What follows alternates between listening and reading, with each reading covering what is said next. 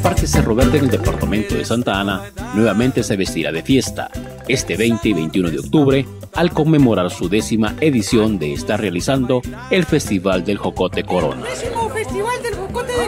La actividad de dos días se desarrollará de 9 de la mañana a 5 de la tarde, donde el turista podrá comprar y degustar diferentes comidas y platillos típicos, así como prendas de vestir y artesanías logradas con este fruto.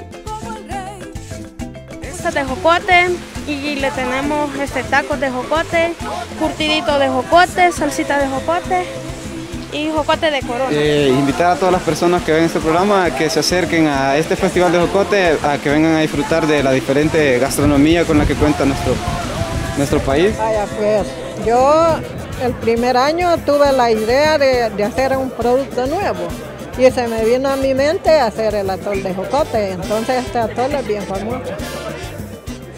Mm, fíjese que estoy saboreando este churrito. Y lo que más me gustaba es el churrito. Porque está acidito. Para el visitante, los productores del fruto han dispuesto a tener más de 2.5 millones de jocotes y en gastronomía de atol, pupusas, pizzas, tacos, aleas, postres, carnes, chaparro y muchas otras comidas y bebidas elaboradas con el jocote corona. Eh, pues esta es una finca que se tiene eh, desde hace 24 años, entonces cada año pues en los meses de agosto a, a principios de noviembre es la cosecha del jocote, se cosechan alrededor de unos 600 mil jocotes al año.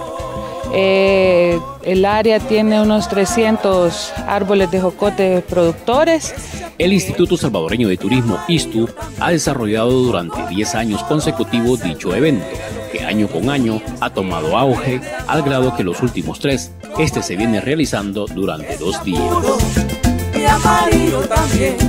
ya sé que tienen muchos de ellos agendado este festival del Jocote de Corona para que ahora vengamos con más entusiasmo y vengamos y disfrutemos en grande porque aquí vamos a tener dos días, el 20 y el 21 de octubre, con cosas maravillosas, tanto eh, lo que, todo lo que se elabora a raíz de lo que produce el, el jocote de corona en su semilla, en su hoja, en su fruto y también vamos en su gastronomía y también vamos a gozar pues de una agenda artística cultural.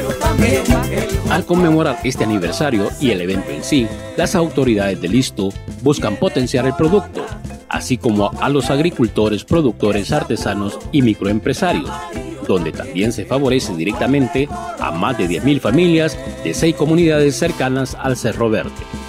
Previo al festival, la directora ejecutiva del ISTU, Dolores Enrique, entregó reconocimientos a periodistas de los diferentes medios de comunicación del país por el apoyo en promover el turismo en general que siempre nosotros como programa de turismo apoyamos todas las iniciativas turísticas y especialmente el festival. No cualquiera le entrega una presea de estas y pues gracias por el reconocimiento que nos brindan los medios, que somos los encargados de brindar la información respecto a los diferentes festivales que realiza este instituto. Pues para nosotros nos sentimos muy orgullosos primeramente porque somos jóvenes y de verdad estamos demostrando que podemos hacer las cosas bien. Además, agradecerle al, Instituto Salvadoreño del Turismo por darnos este reconocimiento que para nosotros es, eh, nos anima a seguir trabajando para promocionar el turismo. Bueno, de esta forma la invitación para que usted pueda participar en el décimo Festival del Jocote el 20 y 21 de octubre está hecha. En el Cerro Verde, con el apoyo de Cecibel Alfaro, reportó Baltasar.